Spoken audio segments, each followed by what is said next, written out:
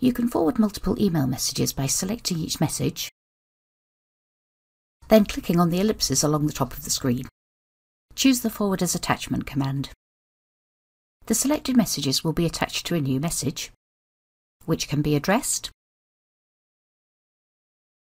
and sent as normal.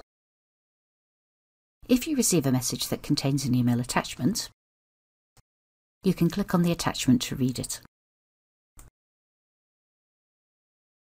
You can also attach messages to emails already created. Select the message you wish to attach, then drag it into the email you're composing.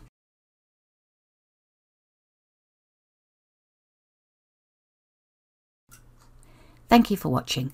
Contact us at Ancoris if you'd like to know more about G Suite.